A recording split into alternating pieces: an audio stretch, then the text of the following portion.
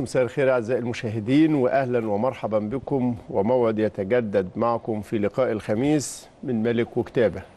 أنا ما كنتش عارف المقدمة الشعرية اللي المهندس عدلي بادئ بيها ديت رؤوس الدبابيس ورؤوس آه الحرب. طبعا آه كل يوم والتاني قال متهيأ لهم. الكلام الصغير اللي بيتقال ده قد ينال من حقيقة من حقائق النادي الأهلي أو قد ينال من العاملين في النادي الأهلي أو قد ينال من شكل وصورة النادي الأهلي وانتصاراته المتتالية وجدارته أو علاقاته ببعضيه. الحقيقة الموضوع باخ وزاد و... و... و... و... و... ولابد أن تكون هناك وقفة مش مع الأشخاص بقى ولا حتى في التفاصيل وقفة في, الخ... في الخطوط العامة.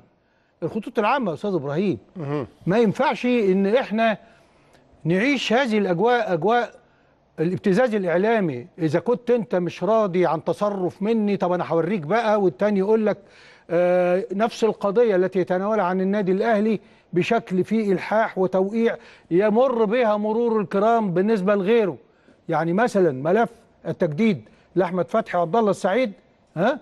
تجد ال- مقدمي البرامج ما واخده وحقهم وياما ضحوا وياما إدوا وياما عملوا ولازم وحجمهم. آه. وبعدين في نفس الجملة يقول لك إيه؟ بينما بينما ها ينتظر الشناوي وطارق حامد التجديد. خلصت كده. آه. يعني فين فين الموضوعية؟ فين الموضوعية؟ فين إنك أنت لما يعني إحنا هنا بنحاول إن إحنا نتوخى الحذر إن إحنا ما نقعش في فخ الشخصنه وانت كويس انك عامل فقره عن هذا الموضوع.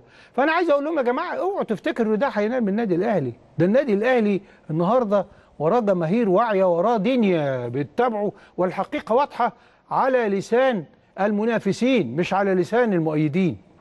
فارجوكم أن نكف عن هذه المحاولات وندع قافلة الرياضة تسير في اتجاه سليم شوية.